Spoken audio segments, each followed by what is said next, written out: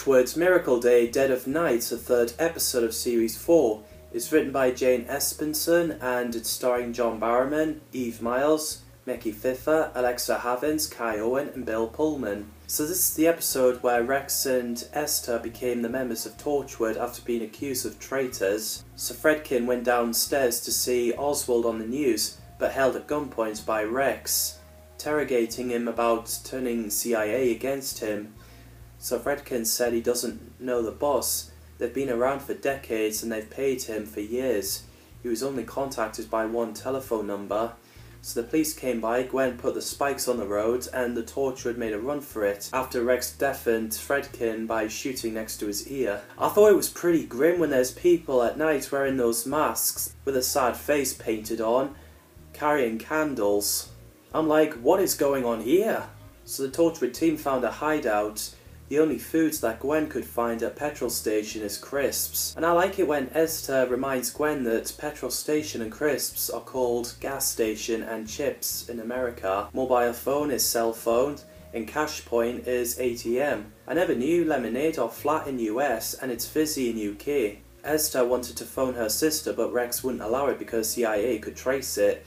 So the Torchwood team stole a car, drove up to warehouse and I love how Gwen just knock a guard out. Meanwhile, at hospital, Vera is complaining to the police that a woman with a sore neck has been strangled by her husband, and they don't consider it as murder, which is because it's impossible to murder since after the miracle started. Torchwood searches up Phi Corp and plans to tackle it. Rex phones his ex-CIA instructor to arrange for a meetup in the hotel, but the armed police broke in so Rex is pissed and didn't want to be part of Torchwood, especially the fact that Jack has got dead friends. Susie, Ianto, Owen and Tosh. So Rex drove away. Jack went into a nightclub and met Brad, played by Dylan Casey, who was a bartender at Golden Gopher. So Brad and Jack had sex with each other. Meanwhile, Rex broke into Vera's apartment needing help to cover his wound. So then Rex and Vera ended up having sex. Apparently there's been broadcast difference for sex scenes. UK, they edited the sex with Jack and Brad because it was deemed inappropriate for the prime time slot. But spokesperson of BBC said that the edits will not affect the story in any way. John Barrowman said that sex scenes in the show were not gratuitous and did form a part of a plot. The casting side for Brad, the bartender, were concerned about Jack being de-gayed by American network Starz so John Barrowman explained to Access Hollywood reporters that the gay sex scenes the series would feature would be more explicit than previous shots of its kind in Torchwood, because Starz as a US premium cable network allowed the show to push the envelope a little bit more. And of course I don't think there's anything wrong with people being gay.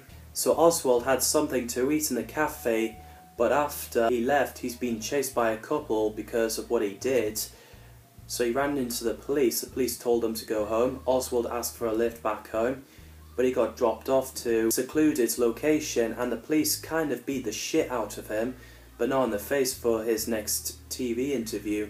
So he gets dropped off outside the motel, and Jilly came and taking Oswald with her to Dulles. And we get a nice moment where Gwen contacts Rhys and Anwen, and apparently Andy said he can move them back to Swansea Vera got angry because Rex wanted her to spy for Torchwood, so he had to leave. However, the next day she agrees, and Jack loves a good hangover.